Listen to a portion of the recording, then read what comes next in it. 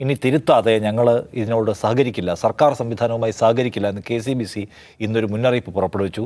അതിനുശേഷം ഇന്നിപ്പോൾ സജി ചെറിയാൻ ഒരു വാർത്താ സമ്മേളനം നടത്തി. താൻ പറഞ്ഞ രാഷ്ട്രീയ നിലപാടിൽ ഒരു മാറ്റവും പക്ഷേ താൻ പറഞ്ഞ വാക്കുകൾ മുന്തിരി കേക്ക് പോലുള്ള കാര്യങ്ങളിൽ വിഷമം ഉണ്ടാക്കിയിട്ടുണ്ടെങ്കിൽ അത് പിൻവലിക്കുന്നു. പക്ഷേ ക്രിസ്തീയ മതവിഭാഗം വംശീയമായ അതിക്രമങ്ങൾക്ക് ഇരയാക്കപ്പെടുന്നുണ്ട് എന്നും. അത് ഉന്നയിക്കേണ്ട വേദികളിൽ ഉന്നയിക്കേണ്ടതാണ് എന്നുള്ള തന്റെ പൊളിറ്റിക്കൽ പൊസിഷനിൽ തൽക്കാലം മാറ്റം വരുത്താൻ ഉദ്ദേശിക്കുന്നില്ല എന്ന് അദ്ദേഹം വ്യക്തത വരുത്തുകയാണ്.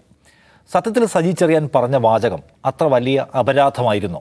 അദ്ദേഹം ഒരു പ്രധാനപ്പെട്ട സംഗതിയെ എടുത്തു കാണിക്കാൻ വിമർശിക്കാൻ ചില പ്രയോഗങ്ങൾ നടത്തി എന്നതിനപ്പുറത്തേക്ക് ക്രിസ്തീയ മത പൗരോഹിത്യത്തെ ക്രിസ്ത്യൻ വിശ്വാസത്തെ ആകെ തന്നെ അധിക്ഷേപിക്കാനുള്ള ശ്രമം അതിലുണ്ടായിരുന്നു.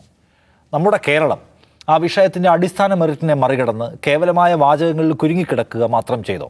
മാധ്യമങ്ങളടക്കം അക്കാര്യത്തിൽ എന്തുമാത്രം ആത്മവിമർശനം നടത്തേണ്ടതുണ്ട്. ഈ വിഷയം സംസാരിക്കാൻ ആഗ്രഹിക്കുകയാണ് നമ്മൾ ആദ്യം. സാർ എന്താണ് തോന്നുന്നത്? ഈ വിവാദം തന്നെ അനാവശ്യമായിരുന്നു എന്ന് പറയുന്ന ആളുകളുണ്ട്. വിവാദം ഒരു ഒരു ഘട്ടത്തിലേക്ക് വികസിക്കുകയും പിന്നീട് ഒരു വേറൊരു ഒരു വഴിയിലൂടെ അതിനെ വിവാദം അവസാനിപ്പിക്കുകയും ചെയ്യേണ്ടി വരികയാണ്. ഇങ്ങനെ ഒന്നിന്റെ ഒരു ഒരു ആവിർഭാവത്തിന്റെ സാധ്യത പോലും ഇല്ലായിരുന്നു ഇല്ലാതിരി ഉണ്ടായിരുന്നില്ല എന്നതിന് എന്ന പോയിന്റ് എങ്ങനെ കാണുന്നത്? ഞാൻ തീർച്ചയായിട്ടും ആ പക്ഷത്താണ്. ഇത് അനാവശ്യമായ ഒരു വിവാദമായിരുന്നു. എന്നുള്ളതാണ്. കാരണം അതിൽ വിവാദമാക്കേണ്ട കാര്യങ്ങളൊന്നും തന്നെ ഉണ്ടായിരുന്നില്ല. സജി ചെറിയാൻ പറഞ്ഞ സാധാരണഗതിയിൽ സജി ചെറിയാൻ ഒരു ആക്ഷേപകരമായി പറഞ്ഞു എന്നൊക്കെ അദ്ദേഹത്തിന്റെ സാധാരണ നിലയിൽ അദ്ദേഹത്തെക്കുറിച്ച് ഉണ്ടാകുന്ന വിവാദങ്ങളിൽ നമ്മൾ കേട്ടിട്ടുള്ള രീതിയിലുള്ള ഒരു കാര്യവും ഇതിനകത്തില്ല. ഇതിലെന്താണ് ആക്ഷേപകരമായി ക്രൈസ്തവ പുരോഹിതർക്ക് തോന്നിയത് എന്ന് എനിക്ക് മനസ്സിലായില്ല. ഒന്നാമതായിട്ട് കേക്കും വീഞ്ഞും എന്ന് പറയുന്നത് എന്തെങ്കിലും ഒന്നിനെ മറ്റൊന്നായി കണ്ടുകൊണ്ടല്ല. അത് ക്രിസ്മസ് ആഘോഷത്തിന്റെ ഒരു ഭാഗമാണ്. പിന്നെ മാത്രമല്ല ബിബ്ലിക്കലി അത് നോക്കിക്കഴിഞ്ഞാലും അതിനകത്ത് ഒരു ഒരു വിശ്വാസവുമായി ബന്ധപ്പെട്ട കാര്യങ്ങൾ അത് അതിന് അതുമായി ചേർത്ത് വയ്ക്കാനുണ്ടല്ലോ. വെള്ളം വീഞ്ഞാക്കിയ യേശുദേവന്റെ പിന്നെ തിരുനാളാണ് ആഘോഷിക്കുന്നത്. എന്താണ് ഇപ്പം അതിനകത്തൊരു തെറ്റ്? അഞ്ചപ്പം അയ്യായിരം പേർക്കായി വീതിച്ചു കൊടുത്ത യേശുദേവന്റെ പിറന്നാളാണ്. എന്താണ് അതിൽ തെറ്റ്? അപ്പോൾ അത് അത് ഭക്ഷിക്കുന്നതോ അത് വീഞ്ഞു കുടിക്കുന്നതോ ഒരു തെറ്റും ആയിട്ട് കാണാൻ കഴിയില്ല. അത് തന്നെയാണ് അവിടെ സംഭവിച്ചിട്ടുള്ളത്. അപ്പോൾ അതിൽ തൽപരരായി എന്ന് പറയുന്നത് മാത്രമാണോ അതിനകത്തൊരു ഒരു കളങ്കം ആയിട്ട് കാണേണ്ടതുള്ളത്? എനിക്ക് തോന്നുന്നില്ല അതിനകത്തൊട്ടും കളങ്കമുണ്ട് എന്ന് മാത്രമല്ല അത് പറഞ്ഞതുകൊണ്ട് ഉണ്ടായിട്ടുള്ളൊരു കാര്യം എന്ന് പറഞ്ഞാൽ അതിന്റെ പേരിലുള്ളൊരു വിവാദമായി അത് മാറി. യഥാർത്ഥത്തിൽ ക്രൈസ്തവ പുരോഹിതർ ഉദ്ദേശിച്ചത് എന്താണ്? അവർക്ക് കളങ്ക് കളങ്കമുള്ളതായി തോന്നിയ കാര്യം എന്താണ്? അവർ പ്രധാനമന്ത്രിയോട് ഈ പറഞ്ഞ മണി മണിപ്പൂർ വിഷയം സംസാരിച്ചില്ല എന്ന് പറഞ്ഞതാണോ? അതോ അവിടെ പങ്കെടുത്തു എന്നതിനെയാണോ അവർ മറ്റുള്ളവർ വിമർശിക്കുന്നതായിട്ട് അവർക്ക് തോന്നിയത്? അതോ സജി ചെറിയാൻ പറഞ്ഞ ഈ ഒരു കാര്യം മാത്രമാണ്?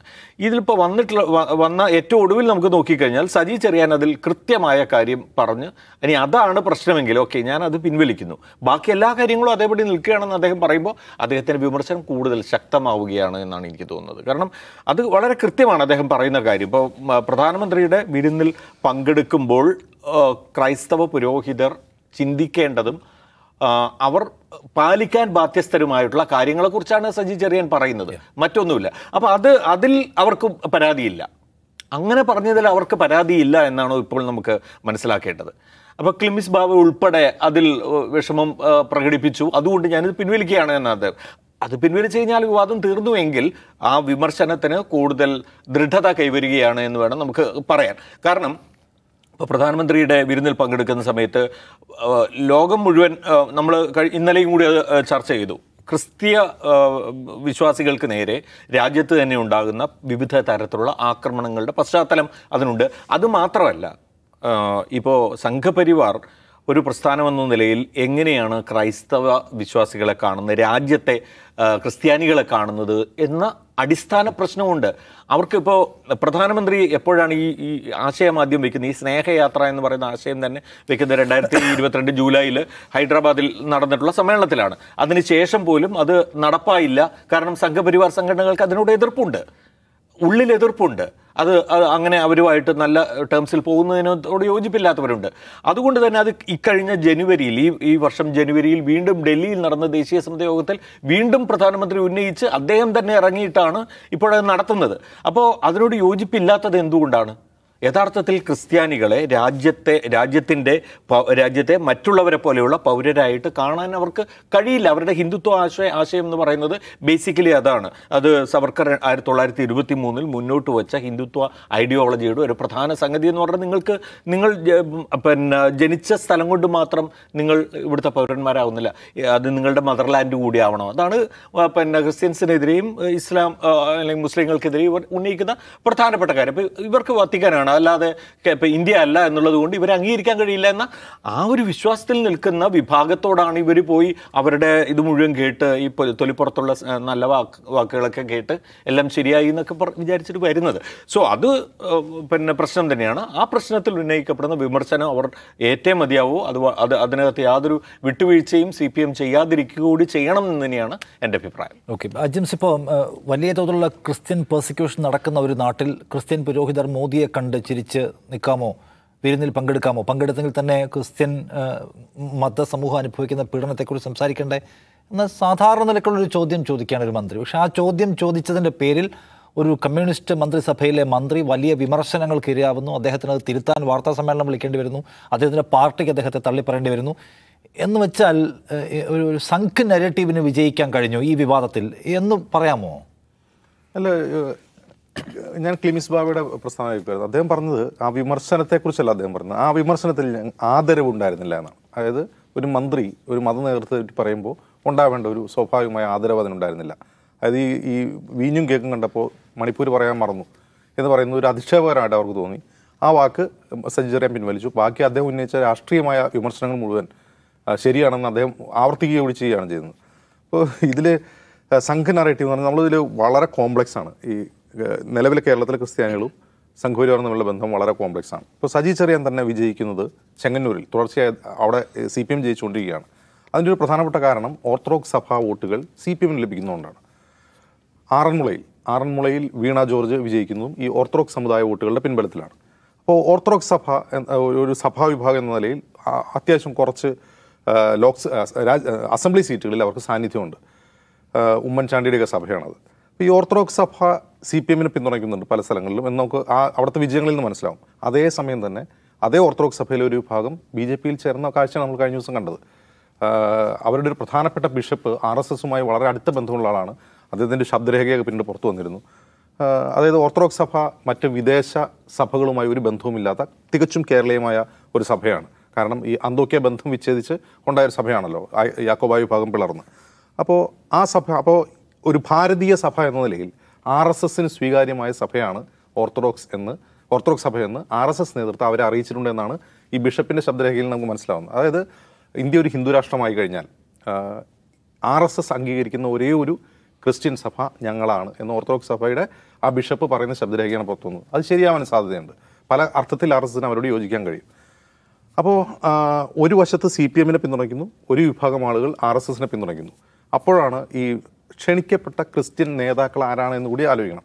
ഏതൊക്കെ ക്രിസ് ക്രൈസ്തവ സഭകളിൽ നിന്നുള്ള പ്രതിനിധികളെയാണ് പ്രധാനമന്ത്രി ക്ഷണിച്ചതെന്ന് കൂടി ആലോചിക്കണം. അതിൽ ബഹുഭൂരിഭാഗവും ഇപ്പോൾ കേരളത്തിൽ നിന്നുള്ള ആളുകളുണ്ട് അതിൽ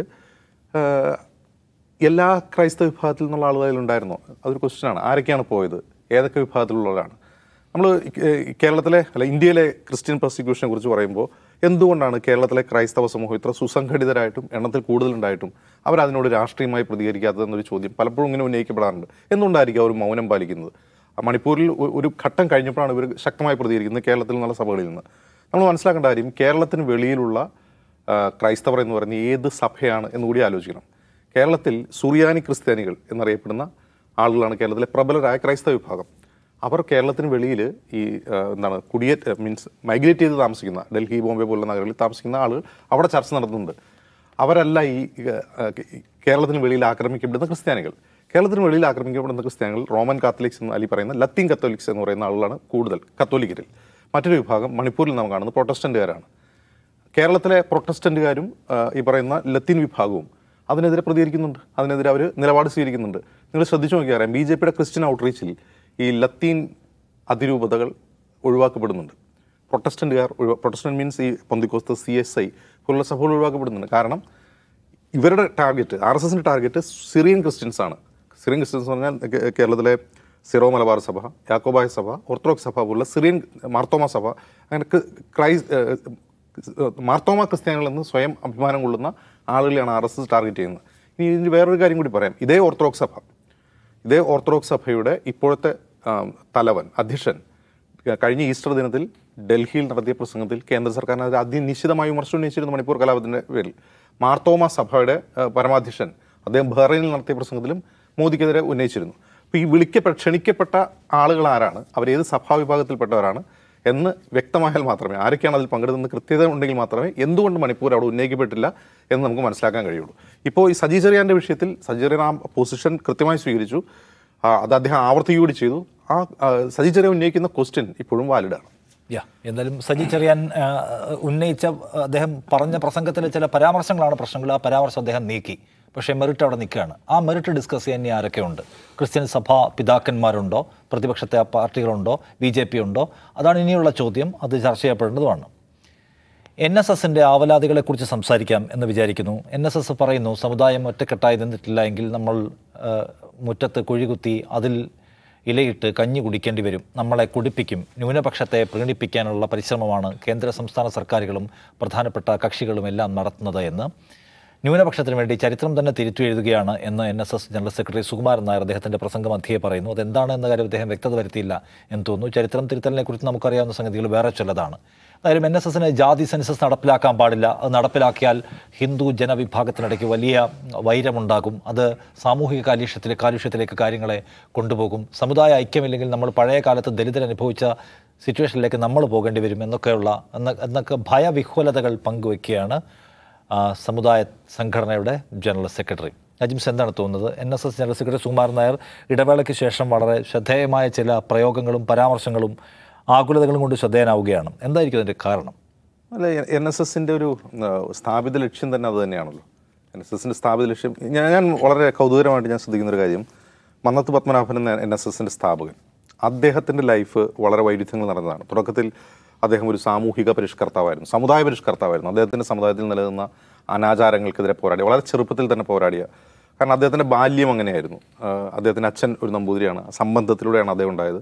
അതിനുശേഷം അദ്ദേഹത്തിന്റെ മാതാവ് വേറെ വിവാഹം കഴിച്ച് വേറെ കുട്ടികളുണ്ടായി.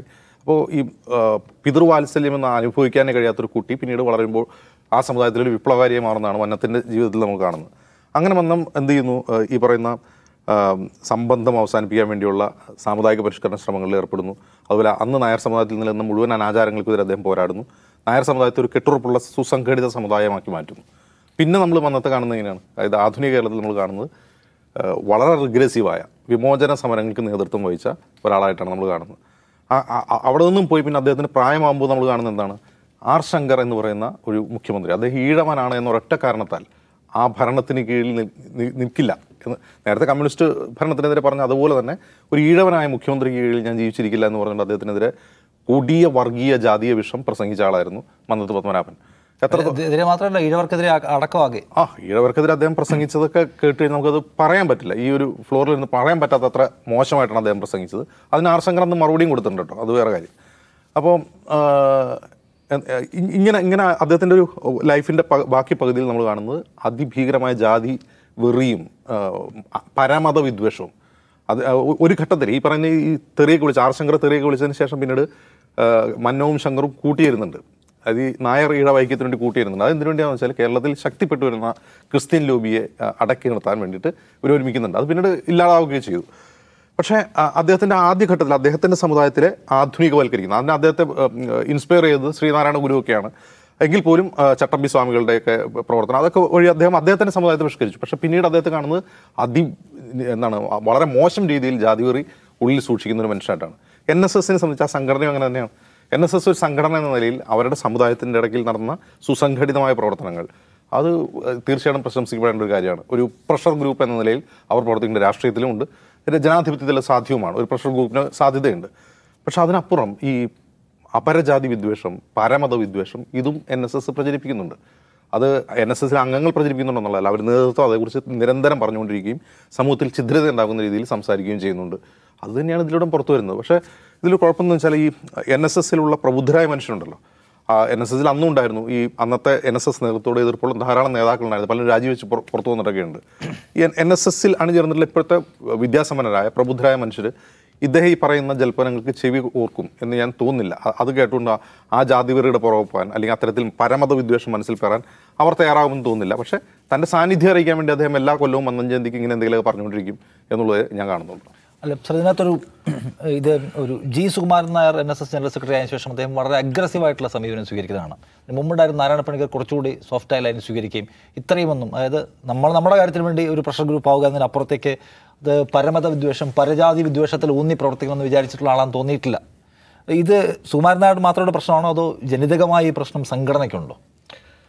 എൻ എസ് എസ് എന്ന് പറയുന്ന സംഘടനയെ സംബന്ധിച്ചിടത്തോളം ഈ രണ്ട് കാര്യങ്ങളാണ് പ്രധാനമായിട്ടും അജിംസ് പറഞ്ഞ പോലെ തന്നെ സ്വന്തം മതത്തിന്റെ ഒരു പ്രഷർ ഗ്രൂപ്പായിട്ട് നിൽക്കുക. അതേസമയം തന്നെ എൻ എസ് എസിന്റെ ഈ പറഞ്ഞ മന്നത്തിൽ നിന്ന് തുടങ്ങുന്ന ഇത്തരം ഒരു ഒരു ധാരയും കൂടി അതിനുണ്ട്. പക്ഷെ ഞാൻ പറയുന്നത് യഥാർത്ഥത്തിൽ ഇവർ ഇവർക്ക് വേണ്ടി തന്നെയാണ് സംസാരിക്കുന്നതെങ്കിൽ പോലും ഈ പറയുന്നതിനകത്ത് ഒരുപാട് വൈരുദ്ധ്യങ്ങളുണ്ടെന്ന് എനിക്ക് തോന്നുന്നു. ഇപ്പോൾ നായർ സമുദായത്തിന്റെ കേരളത്തിലെ ഇന്നത്തെ കണക്കെടുപ്പ് അല്ലെങ്കിൽ ഒരു സംഖ്യ എന്താണ്? നമുക്ക് അറിയണമെങ്കിൽ സത്യത്തിൽ നമുക്കൊരു ഒരു കൺസെൻസസ് ആണ് ആവശ്യം. അത് അതുപോലും ആവശ്യമായിട്ടുള്ള ഒരു സംഗതിയാണ്. അപ്പോൾ അത്തരത്തിലുള്ള കാര്യങ്ങൾ അതിനുവേണ്ടി പോലും നിൽക്കുന്നു അതിനുവേണ്ടി സംസാരിക്കുന്നു എന്നൊക്കെ പറയുന്ന ആളുകൾ യഥാർത്ഥത്തിൽ അതിന്റെ ഒരു എന്താ പറയുക യുക്തിഭദ്രത ഇല്ലാത്ത ഒരു ഒരു വർത്തമാനമാണ് ഈ പറയുന്നത് എന്ന് നമ്മൾ കാണും. ഇതോടൊപ്പം തന്നെയാണ് ഇപ്പോൾ സുകുമാരൻ നായർ ഈ പറഞ്ഞു കൊടുക്കുന്ന ന്യൂനപക്ഷ ചരിത്ര ഇതെന്ന് പറയുന്ന സാധനം അദ്ദേഹത്തിന് തന്നെ വിശദീകരിക്കാൻ കഴിയാത്തതോ അല്ലെങ്കിൽ നമുക്കൊന്നും മനസ്സിലാവാത്തതോ ആയിട്ടുള്ള ഒരു കാര്യമാണ്. അപ്പോൾ ഇങ്ങനെയുള്ള കാര്യങ്ങൾ പറഞ്ഞുകൊണ്ടിരിക്കുക എന്ന് പറയുന്നത് സ്ഥിരമായിട്ട് മന്നം ജയന്തിയുമായിട്ട് ബന്ധപ്പെട്ടായാലും അല്ലെങ്കിൽ അവരുടെ ബജറ്റ് പ്രസംഗത്തിന്റെ സമയത്തായാലും ഒക്കെ ഇദ്ദേഹം നിരന്തരം ചെയ്തുകൊണ്ടിരിക്കുകയാണ്. ശരിക്കും നേരത്തെ പറഞ്ഞ പോലെ മന്നത്തിന്റെ ഒരു പാത പരിശോധിച്ച് കഴിഞ്ഞാൽ അജിംസ് പറഞ്ഞതിനപ്പുറം ചില ഘട്ടങ്ങളിൽ അദ്ദേഹം വൈക്കം സത്യാഗ്രഹത്തിലും ഗുരുവായൂർ സത്യാഗ്രഹത്തിനും ഒക്കെ നേതൃത്വം നൽകിയിട്ടുണ്ട്. മാത്രമല്ല ക്ഷേത്രപ്രവേശന വിളംബരത്തിലേക്ക് എത്തുന്നതിന് വേണ്ടിയിട്ടുള്ള ആദ്യത്തെ സവർണജാഥയാണ് അതിന്റെ തുടക്കം എന്ന് പറയുന്നുണ്ട്. അവർ തന്നെ അവകാശപ്പെടുന്ന ഒരു കാര്യം കൂടിയാണ്. മാത്രമല്ല മന്നം അദ്ദേഹത്തിന്റെ കുടുംബക്ഷേത്രത്തിലേക്ക് ആദ്യമായി അവർണ ജാതിക്കാരെ ഈ ക്ഷേത്രപ്രവേശന വിളംബരത്തിനുമൊക്കെ വളരെ മുമ്പ് തന്നെ അത് ചെയ്തു എന്ന അവകാശവാദവും ഉന്നയിക്കുന്നവരാണ്. അപ്പോൾ ഞാൻ പറയുന്നത് സുകുമാരൻ നായർ മന്നത്തെ അനുസ്മരിക്കുമ്പോൾ യഥാർത്ഥത്തിൽ മന്നത്തെയാണോ അദ്ദേഹം അനുസ്മരിക്കുന്നത്? മന്നത്തെ ഇന്നത്തെ കാലത്തേക്ക് കൊണ്ടുവന്നിട്ട് അതിനനുസരിച്ചുമായി വളച്ചൊടിച്ചിട്ടാണോ അദ്ദേഹം അനുസ്മരിക്കുന്നത് എന്നുള്ളതാണ്. മന്നത്തെ അനുസ്മരിക്കുന്നുണ്ടെങ്കിൽ ഇപ്പോൾ വിമോചന സമരം പോകട്ടെ ഈ പറഞ്ഞ ആർശങ്കറുമായിട്ടുണ്ടായിട്ടുള്ള പിന്നെ അടി പോകട്ടെ അതെല്ലാം മാറ്റി വെച്ച് കഴിഞ്ഞാലും മന്നത്തിൽ ഒരു സമുദായ പരിഷ്കർത്താവ് മാത്രമല്ല ഒരു സാമൂഹിക പരിഷ്കർത്താവിന്റെതായിട്ടുള്ള എലമെന്റും കൂടി ഉണ്ട് എലമെൻസും ഉണ്ടായിട്ടുണ്ട്.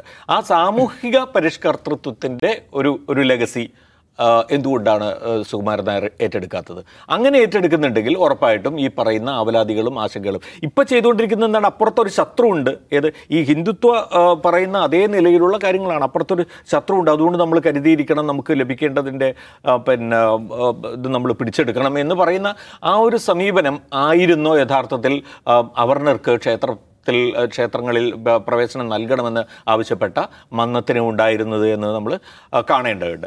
അപ്പോൾ മന്നം ജയന്തിക്ക് സംസാരിക്കുന്ന സുകുമാരൻ നായർ യഥാർത്ഥത്തിൽ അദ്ദേഹത്തിന്റെ ലെഗസിയെ അതുപോലെ പിന്തുടരാൻ ഉദ്ദേശിക്കുന്നില്ല എന്നുള്ളത് വ്യക്തമാണ്.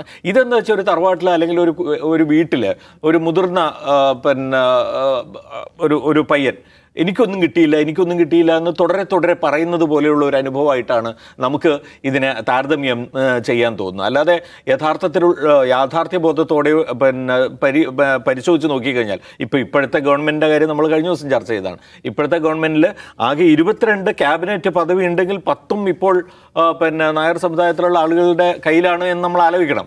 അതുണ്ട് അതല്ലെങ്കിൽ ഏത് തലത്തിലാണ് അവർക്ക് ഇല്ലാതിരിക്കുന്നത് എന്നതാണ് നമ്മൾ ചിന്തിക്കേണ്ടത്. എന്നിട്ടാണ് ന്യൂനപക്ഷങ്ങളെ വെറുതെ ഇപ്പോഴും എപ്പോഴും ഇങ്ങനെ വിദ്വേഷത്തോടെ സംസാരിച്ചുകൊണ്ടിരിക്കുന്നത് കാരണം അവർക്ക് ലഭിക്കേണ്ടതെല്ലാം അവർക്ക് ലഭിക്കുന്നുണ്ട്. പക്ഷെ ഒന്നും കിട്ടിയില്ല ഒന്നും കിട്ടിയില്ല എന്നുള്ള പരാതി എപ്പോഴും ആവർത്തിച്ചു അപരശത്രുവിനെ പറ്റി എൻ എസ് എസും എൻ എസ് എസ് നേതാക്കളും പറയുന്നതിന് വേറെ കാരണം കൂടിയുണ്ട്. ഗാന്ധിയെ കൊന്ന് പത്ത് വർഷം പൂർത്തിയാവുന്നതിന് മുമ്പാണ് കൊച്ചിയിൽ ഗോൾ വാർക്കർ പങ്കെടുത്ത ഒരു പരിപാടിയിൽ മന്നത്ത് പത്മനാഭൻ വന്നിട്ട് ഹിന്ദുക്കളുടെ ഒരേ ഒരു രക്ഷകർ ആർ എസ് എസ് ആണെന്ന് പ്രസംഗിച്ചത്. അപ്പോൾ പിന്നെ അത് യാദൃശ്യമല്ല യാദൃശ്ചികമല്ല എന്നുകൂടി ഓർക്കേണ്ടത് യെസ് എന്നാലും ഈ ആധുനിക കാലത്ത് സാമുദായിക ശാക്തീകരണത്തിന് അല്ലെങ്കിൽ ശാക്തീകരണത്തിന് ഏകീകരണത്തിനൊക്കെ ഒരു ആയുധം എന്ന നിലയ്ക്ക് പരമത വിദ്വേഷം ഉപയോഗിക്കുന്ന ആണോ ഉപയോഗിക്കേണ്ടത്? അതോ കുറച്ചുകൂടി മികച്ച സംഘാടന മികവ് കുറച്ചുകൂടി ആരോഗ്യകരമായിട്ടുള്ള സമീപന ശൈലി അത് വേണോ എന്ന കാര്യം എൻ എസ് എസിന് ആലോചിക്കാവുന്നതാണ്. ഉണ്ണി മുകുന്ദനെ കുറിച്ചുള്ള എന്താ ഒരു വിമർശനം അതിന് അദ്ദേഹത്തിന്റെ മറുപടി അതുണ്ടാക്കുന്ന ചെറിയ കോലാഹലം നമ്മൾ സോഷ്യൽ മീഡിയയിൽ കാണുന്നത് അതിനെക്കുറിച്ച് സംസാരിക്കാം എന്ന് വിചാരിക്കുന്നു അടുത്തത്. ഉണ്ണി മുകുന്ദൻ എന്റെ ജയ് ഗണേഷ് എന്ന് പറഞ്ഞ സിനിമ അടുത്ത് വരാൻ പോവുകയാണ്. അപ്പോൾ അതിന് മുമ്പുള്ള അദ്ദേഹത്തിന്റെ ഹിറ്റ് നമുക്കറിയാവുന്നതുപോലെ മാളികപ്പുറമാണ്. അപ്പോൾ ഉണ്ണി മുകുന്ദൻ ഒരു ആവറേജ് എന്താ പറയുന്നത് മികവ് മാത്രമുള്ള ഒരു നടനാണ്. അദ്ദേഹം ജയസാധ്യതയില്ല എന്ന് മനസ്സിലാക്കി ഒരു ഹിന്ദുത്വ രാഷ്ട്രീയത്തെ പ്രീണിപ്പിച്ച് മുന്നോട്ട് പോകാം. അങ്ങനെ ഇപ്പോൾ ആൾക്കാരൊക്കെ അദ്ദേഹത്തെ കളിയാക്കിക്കൊണ്ട് പറയുമല്ലോ സമാജം സ്റ്റാർ. അങ്ങനെ ഒരു പദവി എടുത്ത് രക്ഷപ്പെടാൻ അദ്ദേഹം വിചാരിക്കുകയാണ്. അപ്പോൾ കലയ്ക്കകത്തേക്ക് രാഷ്ട്രീയം കൊണ്ടുവന്നും അല്ലെങ്കിൽ ഈ പറഞ്ഞ വിഭജന രാഷ്ട്രീയത്തെ പുൽകിക്കൊണ്ട് കലയിൽ വിജയിക്കാമെന്ന് കരുതുന്നതിൽ നല്ലത് വേറെ പണിക്ക് പോയിക്കൂടെ എന്ന് ഒരു വിമർശനം അദ്ദേഹത്തിനെതിരെ സോഷ്യൽ മീഡിയയിൽ ഒരു സിനിമാ ഗ്രൂപ്പിൽ വന്നു. അപ്പോൾ ഇങ്ങനെ തന്നെ വർഗീയവാദിയാക്കാനുള്ള ശ്രമം വന്നതോടെ ഇത് സിനിമാ ഗ്രൂപ്പ് അല്ലാതായി മാറിക്കഴിഞ്ഞിരിക്കുന്നു ഒക്കെ പറഞ്ഞ് അദ്ദേഹത്തിന്റെ മറുപടിയും വരികയും അത് അങ്ങോട്ടും ഇങ്ങോട്ടുള്ള തർക്ക വിതർക്കത്തിന് കാരണമാവുകയും ചെയ്യുന്നുണ്ട്. അപ്പോൾ ഈ ഉണ്ണി മുകുന്ദനെക്കുറിച്ച് കുറേ കാലമായി നമ്മൾ കേൾക്കുന്ന ഒന്നാണ്. സംഘപരിവാറിന്റെ രാഷ്ട്രീയം അദ്ദേഹം എടുത്തണിയുന്നു എന്നത്. അത് ഒരു സിനിമയെ മാത്രം വെച്ചിട്ടല്ല അദ്ദേഹം പങ്കെടുക്കുന്ന പരിപാടികൾ നടത്തുന്ന സ്റ്റേറ്റ്മെന്റുകൾ അദ്ദേഹം പറയുന്ന രാഷ്ട്രീയം ഇവയെല്ലാം കൂടെ ചേർത്താലും അദ്ദേഹത്തിന് ഒരു ഒരു B J P R S S Hindutva അനുഭവം ഉണ്ടെന്ന് കാണാൻ പറ്റും. അതിനെ തന്റെ കലാജീവിതത്തിന്റെ സക്സസിന് വേണ്ടി അദ്ദേഹം ഉപയോഗിക്കുന്നുണ്ടെന്നുള്ള വിമർശനം എന്തുമാത്രം സാധുവാണെന്നാണ് സാറിന് തോന്നുന്നത്? അല്ല ഇപ്പോൾ മാളികപ്പുറം എന്ന സിനിമയാണല്ലോ സമീപകാലത്ത് അദ്ദേഹത്തിന്റെ ഒരു ഹിറ്റ് എന്ന് പറയാവുന്ന സിനിമ. അത് ഇറങ്ങിയ സമയത്ത് ആരാണ് അതൊരു സംഘപരിവാർ സിനിമയാണ് എന്ന് ആദ്യം പറഞ്ഞത്? നിഷാദ് ഓർക്കുന്നുണ്ടാവും ഞാൻ വിചാരിക്കുന്നു. സോഷ്യൽ മീഡിയയിൽ ഈ സിനിമ കണ്ട് അഭിപ്രായം എഴുതിയ സന്ദീപ് വാര്യരുടെ അടുത്ത് ഒരാൾ ചോദിക്കുന്നുണ്ട്. പിന്നെ നരേന്ദ്രമോദിയുടെ അമ്മ മരിച്ച സമയത്താണോ താങ്കൾ സിനിമ കാണാൻ പോകുന്നതെന്ന് ഒരു ചോദ്യം ചോദിക്കുന്നു. അതിന് അദ്ദേഹം മറുപടി ഇടുന്നു. ഇത് സമാജത്തിന്റെ സിനിമയാണ്. അതുകൊണ്ടാണ് ഞാൻ പോയത്. ഇത് കാണേണ്ടത് എന്റെ ദൗത്യമാണ് എന്ന് പറഞ്ഞ സന്ദീപ് വാര്യരാണ് ആദ്യമായി അതിനെ ഈ ഹൈന്ദവ സിനിമയാണ് എന്നൊരു ഒരു. നറേറ്റീവിലേക്ക് കൊണ്ടുപോയി കെട്ടുന്നത്. അപ്പോൾ അത് തന്നെ ആ സിനിമയ്ക്ക് ഡാമേജ് ആണോ ഉണ്ടാക്കിയത്? അതോ അതിന്റെ സക്സസ്സിന് അത് കാരണമായോ എന്നുള്ള കാര്യത്തിൽ നമുക്കറിയില്ല. പലരും അതിനെതിരെ രംഗത്ത് വരികയും അതിന്റെ നിർമ്മാതാവ് ക്രിസ്ത്യനാണ്. അതുകൊണ്ട് അങ്ങനെ പറയാൻ കഴിയില്ല എന്നൊക്കെ പറഞ്ഞ് വലിയ വിവാദങ്ങൾ ഉണ്ടായ സമയത്ത് ഇദ്ദേഹം തന്നെ അത് പിന്നീട് ഡിലീറ്റ് ചെയ്യുകയൊക്കെ ചെയ്തു. സന്ദീപ് വാര്യരനെ ഡിലീറ്റ് ചെയ്യുകയൊക്കെ ചെയ്തു അപ്പോൾ യഥാർത്ഥത്തിൽ ഉണ്ണി മുകുന്ദൻ ആരെയെങ്കിലും അതിൽ കുറ്റപ്പെടുത്തണമെങ്കിൽ അത് ശരിക്കും ബി ജെ പിയുടെ നേതാക്കളെ തന്നെയാണ്. അതിന്റെ പ്രചാരകരായി പ്രചാരകരായി വന്നത്. സുരേന്ദ്രനായാലും കണ്ടിട്ട് അഭിപ്രായമൊക്കെ പറഞ്ഞു. അത് പിന്നെ അയ്യപ്പസ്വാമിയെ ദർശിക്കുന്ന അതേപോലുള്ള ഒരു അനുഭവം നമുക്ക് നൽകുന്നുണ്ട്. ശരി അതൊക്കെ പറഞ്ഞോട്ടെ. അത് അതിനെ ബേസ് ചെയ്തിട്ടുള്ള ഒരു സിനിമയാണല്ലോ. യാതൊരു സംശയമില്ല അങ്ങനെയൊക്കെ പറയുന്ന അവർക്ക് അവർക്ക് വലിയ ഭക്തി പാരവശ്യം ഉണ്ടായി എന്നുണ്ടെങ്കിൽ അതൊക്കെ ആയിക്കോട്ടെ. പക്ഷേ ഇതിന്റെ വിഷയം എന്താണെന്ന് വെച്ച് കഴിഞ്ഞാൽ ഇതിൽ ആരെങ്കിലും അതിനകത്ത് കമന്റ് ചെയ്യുന്നുണ്ടോ അല്ലെങ്കിൽ വിമർശിക്കുകയോ ചെയ്യുന്നുണ്ടെങ്കിൽ അവരെയല്ല ലിബറൽസിനെയോ അല്ലെങ്കിൽ ഇടതുപക്ഷക്കാരെയോ ഒന്നും അല്ല ഉണ്ണി മുകുന്ദൻ ആദ്യം ഇതിനകത്ത് കാണേണ്ടത്. ഇതിനെ ആ നിലയ്ക്ക് മാറ്റിയെടുത്ത സംഘപരിവാറിന്റെ കേരളത്തിലെ വക്താക്കളെ തന്നെയാണ് അദ്ദേഹം ആദ്യം കാണേണ്ടത്. പിന്നെ ഉണ്ണി മുകുന്ദനെ സംബന്ധിച്ചിടത്തോളം നേരത്തെ പറഞ്ഞ പോലെ രാഷ്ട്രീയമായ പല കാര്യങ്ങളും അദ്ദേഹം പറയുന്നുണ്ട്. ആ പറയുന്നതെല്ലാം ബി ജെ പിയുടെ രാഷ്ട്രീയവുമായി ചേർന്ന് പോകുന്ന കാര്യങ്ങൾ തന്നെയാണ്. അതുകൊണ്ട് പിന്നെ അത് തനിക്കില്ല എന്നോ ഒന്നും അദ്ദേഹത്തിന് പറയാൻ കഴിയില്ല. പക്ഷേ സിനിമയിൽ അദ്ദേഹം ആ പക്ഷത്തിന്റെ ആളായി നിൽക്കുന്നുണ്ടോ എന്ന് ചോദിച്ചു കഴിഞ്ഞാൽ ഇപ്പം ആ, ഇപ്പം, ഇപ്പം വരാൻ പോകുന്ന ഇപ്പം ഈ ജയ് ഗണേഷ് എന്ന് പറഞ്ഞ സിനിമ നമുക്കറിയില്ല. പേര് കൊണ്ട് അത് ഒരു സംഘപരിവാർ സിനിമയാണോ എന്ന് വിധി കൽപ്പിക്കാനൊന്നും നമുക്കിപ്പോൾ നിൽക്കാൻ കഴിയില്ല. അല്ലാതെ അങ്ങനെ സംസാരിക്കാൻ കാര്യമുള്ള വിവാദമാകുന്നതിന്റെ വിവാദമാകുന്നതിന്റെ കാരണം ഈ ഗണേഷ് വിവാദം ഉണ്ടായല്ലോ. അനൗൺസ് ചെയ്യുന്നത്. അതെ അതെ. അത് അനൗൺസ് ചെയ്യുന്നത് അങ്ങനെയാണ്. ഇപ്പോൾ രഞ്ജിത്ത് ശങ്കറിനെ പോലെ ഒരാളാണ്. വളരെ പോപ്പുലർ ആയിട്ടുള്ള സിനിമകൾ എടുത്തിട്ടുള്ള ഒരാളാണ് സംവിധാനം ചെയ്യുന്നത്. അതുകൊണ്ട് നമുക്കറിയില്ല. അത് സിനിമ വന്നതിന് ശേഷം നമുക്ക് ആലോചിക്കാവുന്ന കാര്യമാണ്. പക്ഷെ ഒരു സംഗതി നടക്കുന്നുണ്ടല്ലോ നിഷാദെ. അതായത് രാജ്യത്തെമ്പാടും സംഘപരിവാർ സിനിമകൾ ഇറങ്ങുന്നുണ്ട് അല്ലേ? ആ സംഘപരിവാറിന് വേണ്ടിയുള്ള സിനിമകൾ വരിക എന്ന് പറയുന്ന ഒരു ഒരു പ്രോജക്റ്റ് ഈസ് ദർ. അത് മലയാളത്തിലും കൂടി ഇല്ല എന്ന് നമുക്ക് പറയാൻ കഴിയില്ല. അത് മലയാളത്തിലും സംഭവിക്കുന്നുണ്ട് എന്നാണ് ഞാൻ വിചാരിക്കുന്നത്. അത് ഒരർത്ഥത്തിൽ ഏതോ കാലഘട്ടത്തിൽ ഇപ്പോൾ രഞ്ജിത്തിന്റെ സിനിമകളെക്കുറിച്ച് പറഞ്ഞതുപോലെയോ അല്ലെങ്കിൽ മറ്റ് പല സിനിമകളെ പോലെയോ ജയരാജന്റെ സിനിമകൾ പൈതൃകം പോലുള്ള സിനിമകൾ അങ്ങനെയുള്ള സിനിമകളൊക്കെ യഥാർത്ഥത്തിൽ ഈ സംഘപരിവാർ ആശയം അവർ അതിലൂടെ പ്രസരിപ്പിച്ചിട്ടുണ്ട് എന്ന് നമുക്കറിയാം. അല്ലെങ്കിൽ ഒരു പിന്നെ എന്താ പറയുക ജാതി മേധാവിത്വത്തിന്റെ ചില സംഗതികൾ കൊണ്ടുവന്നിട്ടുണ്ടാവാം. പിന്നെ അന്യമത അല്ലെങ്കിൽ മുസ്ലിം കഥാപാത്രങ്ങളെ ഇപ്പോഴും അപ്പോഴും ഒരുപോലെ ഡെമണൈസ് ചെയ്യുന്ന സാഹചര്യങ്ങൾ ഉണ്ടായിട്ടുണ്ടാവാം. അതൊക്കെ ഈ സിനിമയിൽ നമ്മൾ കണ്ടിട്ടുണ്ട്. അത് ഇല്ല എന്ന് പറയാൻ കഴിയില്ല. ഇന്നിപ്പോൾ എന്ന് വെച്ചാൽ വളരെ ആസൂത്രിതമായി തന്നെ സംഘപരിവാർ അനുകൂല സിനിമകൾ കൊണ്ടുവരിക എന്നൊരു പ്രോജക്റ്റ് ദേശീയ തലത്തിൽ തന്നെ ആർ എസ് നടപ്പാക്കുന്നുണ്ട് അതിന്റെ ഭാഗമായി കേരളത്തിൽ അത് വരുന്നുണ്ടോ എന്നുള്ള കാര്യത്തിൽ ഒരു സംശയമില്ല. ഉണ്ണി മുകുന്ദനെ ഉപയോഗിച്ചാണ് ഇത് ചെയ്യുന്നത് ചെയ്യുന്നത് അത് ഉണ്ണി മുകുന്ദനെ വെച്ചിട്ടാണോ അല്ല സുരേഷ് ഗോപി വെച്ചിട്ടാണോ എന്നുള്ളതൊന്നും നമുക്ക് പിന്നെ ക്ലിയർ ആയിട്ട് പറയാൻ കഴിയില്ല. സിനിമകൾ ഓരോ വരുന്ന സിനിമകൾ നോക്കി മാത്രമേ നമുക്ക് തീരുമാനിക്കാൻ കഴിയുള്ളൂ. പക്ഷേ ദാറ്റ് പ്രോജക്റ്റ് ഇസ് ദർ അത് യാതൊരു സംശയമില്ല രാജ്മസിബ ഈ ഒരു ഹിന്ദുത്വ രാഷ്ട്രീയത്തിന്റെ ആളാണ് താങ്കൾ എന്ന വിമർശനത്തിൽ എന്തിനാണ് ഉണ്ണി മുകുന്ദൻ ഇത്ര ഡിസ്റ്റർബ്ഡ് ആവുമെന്ന് മനസ്സിലാവുന്നില്ല. ഈ ഈ സമയത്ത് ഇതിന് മുമ്പ് ഈ ആരോപണം നേരത്തെ മുതൽ അദ്ദേഹം നേരിടുന്നുണ്ട്. അദ്ദേഹം അതിനെ അങ്ങനെ പൂർണാർത്ഥത്തിൽ തള്ളിപ്പറയുകയോ അതിൽ അതിൽ അസ്വസ്ഥനാവുകയോ ചെയ്യുന്ന കാണുന്നില്ല. പക്ഷേ ഇപ്പോൾ പുതിയ സിനിമയുടെ പശ്ചാത്തലത്തിൽ ആ വിമർശനം വരുമ്പോൾ അദ്ദേഹം അസ്വസ്ഥനാവുകയാണ്. അതിനൊരു കാരണമുണ്ട് നിഷ. എന്താണെന്ന് വെച്ചാൽ നമ്മൾ നമ്മൾ സോഷ്യൽ മീഡിയ പ്രധാനമായും ഫേസ്ബുക്ക് ട്വിറ്റർ ഇവിടെ ഈ സിനിമാ ഗ്രൂപ്പുകൾ ധാരാളമുണ്ട്. ഈ സിനിമാ ഗ്രൂപ്പുകൾ ശ്രദ്ധിച്ച് നോക്കിയാൽ സൂക്ഷ്മമായി നോക്കിയാൽ അറിയാം. അതിൽ വളരെ ഗോപ്യമായ രീതിയിൽ ഫാൻ ഫൈറ്റ് നടക്കും. ഒരു സ്ഥലത്ത് മമ്മൂട്ടി ഒരു സ്ഥലത്ത് മോഹൻലാൽ. അത് കുറച്ചുകൂടി ആരോഗ്യകരമാണ് അത്തരം പ്ര- പ്ര- പ്ര- പ്രശസ്തമായ സിനിമാ ഗ്രൂപ്പുകളൊന്നും എന്ത് ചെയ്യുന്നില്ല. ഈ ഫാൻ ഫൈറ്റുകൾ തെറിവിളിയും വർഗീയതയും അനുവദിക്കാറില്ല. പക്ഷേ മറ്റ് ചില ഗ്രൂപ്പുകളുണ്ട്. ഈ ഗ്രൂപ്പുകളിലേക്ക് ഒരു സമാനമായ സ്വഭാവം ഇതെല്ലാം സംഘപരിവാർ നിയന്ത്രണത്തിലാണ് എന്ന് നമുക്ക് തോന്നിപ്പോകും. അതിന്റെ കാരണം എന്ന് വെച്ചാൽ ബോധപൂർവം ഈ ബിഗ് എംസിനെ വെച്ചുള്ള വർഗീയ ഫൈറ്റ് ഉണ്ടാകുന്ന ടോപ്പിക് അതിൽ കൊണ്ടുവന്നിടുക ഡിസ്കസ് ചെയ്യുക തെറി വിളിക്കുക ഇതാണ് ഒരു ഒരു പ്രധാനപ്പെട്ട അജണ്ട അപ്പോൾ നമ്മളെല്ലാവരും പറയും സൈബർ കമ്മികൾ എന്ന് സി പി എമ്മിന്റെ സൈബർ ഗ്യാങ്ങിനെ വിളിച്ച് കളിയാക്കാറുണ്ട്. യഥാർത്ഥത്തിൽ അവർ എന്താ ചെയ്തുകൊണ്ടിരിക്കുന്നത് എനിക്ക് അത്ഭുതമാണ്. കാരണം അവർ പരമാവധി അവർ ചെയ്യുന്നുണ്ടാവുക. പിണറായി വിജയൻ സർക്കാരിനെതിരെയുള്ള ആരോപണങ്ങൾക്ക് മറുപടി നൽകുക. അതിൽ അതിൽ വ്യക്തത വരുത്തുക. ഇതൊക്കെയാണ് അവർ ചെയ്യുക. അവർക്ക് അഭിപ്രായ ഭിന്നതയുള്ളവരുടെ കമന്റുകളിൽ പോയി ചീത്ത വിളിക്കുക. ഇതൊക്കെയായിരിക്കും അവർ ചെയ്യുന്നുണ്ടാവും യഥാർത്ഥത്തിൽ സംഘപരിവാറിന്റെ പ്രൊജക്റ്റ് നടപ്പാവുന്ന ഇത്തരം ക്ലോസ്ഡ് ഗ്രൂപ്പുകളിലാണ്. പ്രത്യേകിച്ചും സിനിമാ ഗ്രൂപ്പുകളിൽ. ഈ സിനിമാ ഗ്രൂപ്പുകളിൽ പ്രധാനമായും ഒന്ന് വർഗീയമായ തരത്തിലുള്ള ചെരിതിരിവ് ഉണ്ടാകുന്ന രീതിയിൽ ബിഗ് എംസിനെ തമ്മിൽ അടിപ്പിക്കുക. അതൊന്ന്. രണ്ട് ഈ പറയുന്ന നമ്മൾ മുമ്പ് ഡിസ്കസ് ചെയ്ത മട്ടാഞ്ചേരി മാഫിയ കറാച്ചി ഗ്യാങ് എന്നൊക്കെ പേരിട്ടുണ്ട്. പലരെയും പലരെയും കളർ അടിച്ച് കാണിക്കുക. അതുപോലെ യുവ യുവനടന്മാർ മുഴുവൻ കഞ്ചാവിന് അടിമകളാണെന്ന് വരച്ചത് ഇങ്ങനെ ഇങ്ങനെ കുറേ അധികം നറേറ്റീവ്സ് വ്യാപകമായി പ്രചരിപ്പിക്കപ്പെടുന്നുണ്ട്. അപ്പോൾ മലയാള സിനിമ മൊത്തം എന്താണ് പ്രകൃതി പടങ്ങളുടെ പുറകെയാണ്. ഈ പ്രകൃതി പടങ്ങൾ എന്ന് പറയുന്നത് ഒരു ഒരു ഗ്രൂപ്പ് ഓഫ് ഫിലിം മേക്കേഴ്സിന് ലക്ഷ്യം വെച്ചാണ്. അത് വെറുതെ പറയുന്നതല്ല. പെട്ടിക്കട പെട്ടിക്കടപ്പടങ്ങൾ പടക്കപ്പടങ്ങൾ പ്രകൃതി പടങ്ങൾ എന്ന് പറയുന്നത് ലോ ബഡ്ജറ്റിൽ ഇറങ്ങുന്ന കുറച്ചുകൂടി റിയലിസ്റ്റിക് ആയിട്ടുള്ള സിനിമകൾ ഇറക്കുന്ന ആളുകളെ വെച്ചിട്ട് തന്നെയാണ് അവർ ടാർഗറ്റ് ചെയ്താണ് പറയുന്നത്. അല്ലാതെ ആ സിനിമ മോശമായിട്ടും നല്ലതായിട്ടൊന്നും അല്ല അപ്പോൾ ഈ സോഫ്റ്റ് പവർ പവർ സ്വന്തമാക്കാൻ വേണ്ടി ആർ എസ് എസ് വളരെ മുമ്പേ ശ്രമിക്കുന്നുണ്ട്. ഇപ്പോൾ നമുക്കറിയാം ഇപ്പോൾ മലയാളത്തിൽ വളരെ മികച്ചൊരു നടനാണ് ഭരത് ഗോപി. അദ്ദേഹത്തിന് ആർ എസ് എസ് ബന്ധമുണ്ടെന്ന് നേരത്തെ അറിയാവുന്നതാണ്. പിന്നെ അങ്ങനെ പലരും ഇപ്പോൾ സുകുമാരനെ പറ്റി അങ്ങനെ പറഞ്ഞിട്ടുണ്ട്. സുകുമാരൻ മക്കളെ ഇന്ദ്രിയത്തിനെയും പൃഥ്വിരാജിനെയൊക്കെ ആർ എസ് എസ് ശാഖയിൽ വിട്ടിട്ടുണ്ടെന്നൊക്കെ പലരും അവകാശപ്പെടാറുണ്ട്. അത് എന്തു ആവട്ടെ അപ്പോൾ ബി ജെ പി കേരളത്തിൽ പ്രവർത്തിക്കുമ്പോൾ ആർ എസ് പ്രവർത്തിക്കുമ്പോൾ കുറേ അധികം സിനിമാക്കാർ അതുമായിട്ട് ബന്ധപ്പെടുക എന്നുള്ള ഒരു അത്ഭുതമൊന്നുമല്ല. പത്ത് മുപ്പത്തഞ്ച് ലക്ഷം വോട്ട് ബി ജെ പി കിട്ടുന്നു. അപ്പോൾ മമ്മൂട്ടിക്ക് ഒരു എന്താണ് സി പി എം അനുഭാവിയാണെന്ന് പറയുന്നതിൽ മോശമില്ലെങ്കിൽ പ്രേം നസീറിന് കോൺഗ്രസ് സ്ഥാനാർത്ഥിയായിട്ട് മത്സരിക്കുന്ന മോശമില്ല ഒ എൻ വിക്ക് സി പി ഐ സ്ഥാനാർത്ഥിയായിട്ട് മത്സരിക്കുന്നില്ലെങ്കിൽ ഇതും സംഭവിക്കും. അത് സ്വാഭാവികമായിട്ട് സംഭവിക്കുന്ന ഒരു കാര്യമാണ്. പക്ഷേ അങ്ങനെ ഏതെങ്കിലും നടന്മാർ സംഘപരിവാർ ആഭിമുഖ്യം പുലർത്തുന്നു എന്നുള്ളതല്ല പ്രശ്നം. ആ അത്തരം ആളുകൾ വെച്ചിട്ട് ഒരുതരം വർഗീയ വിഭജനം ഉണ്ടാക്കുകയാണ്. അതാണ് ആ സാമൂഹ്യ മാധ്യമങ്ങളിൽ അങ്ങനെ ഒരു വർഗീയ വിഭജനം ഉണ്ടാക്കുന്നതാണ് യഥാർത്ഥത്തിൽ അപകടം. അത് തടുക്കാനോ അത് അതി ചെറുക്കാനോ സംഘടിതമായ ഒരു ശ്രമവും ഒരു പാർട്ടിയുടെ ഭാഗത്തുനിന്നും ഉണ്ടാവുന്നില്ല. അത് അൺഅറ്റൻഡഡ് ആയിട്ട് വളരെ കൂളായിട്ട് നടന്നുകൊണ്ടിരിക്കുകയാണ്. അതാണ് ഈ പുറത്തു വരുന്നത്. ഇപ്പോൾ ഇപ്പോൾ ഈ പോസ്റ്റ് വന്നല്ലോ. ഉണ്ണി മൂന്നിനെതിരെ വന്ന പോസ്റ്റിന് ആ ഗ്രൂപ്പിന് തന്നെ ഒരു പ്രത്യേകത ഉണ്ട്.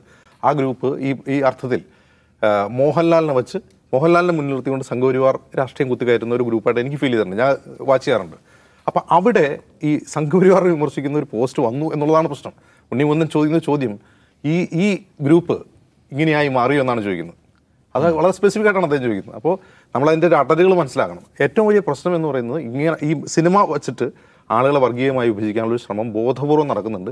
അത് ചെറുക്കാനുള്ള ഒരു ശ്രമവും ഒരു ഭാഗത്തുനിന്നും ഉണ്ടാവുന്നില്ല. ഇത് അൺഅറ്റൻഡഡ് ആയിട്ട് വളരെ കൂളായിട്ട് നടന്നുകൊണ്ടിരിക്കുകയാണ്. അതിന്റെ ഗുണഭോക്താക്കൾ ആരാണെന്നുള്ളത് എല്ലാവർക്കും അറിയുകയും ചെയ്യാം. യെസ് അത് വളരെ പ്രധാനപ്പെട്ട കാര്യമാണ്. നമ്മൾ സമീപ ദിവസങ്ങളിൽ കാണുന്ന സോഷ്യൽ മീഡിയയിലെ വിവാദവും ബഹളവും ഒക്കെ കൂട്ടിച്ചേർത്ത് വായിച്ചാലും സിനിമ ആളുകളെ വിഭജിക്കാനുള്ള ഉപാധിയാക്കി ആരൊക്കെയോ പർപ്പസ്ഫുള്ളി അതിനെ ശ്രമിക്കുന്നുണ്ടെന്ന് കാണാൻ കഴിയും.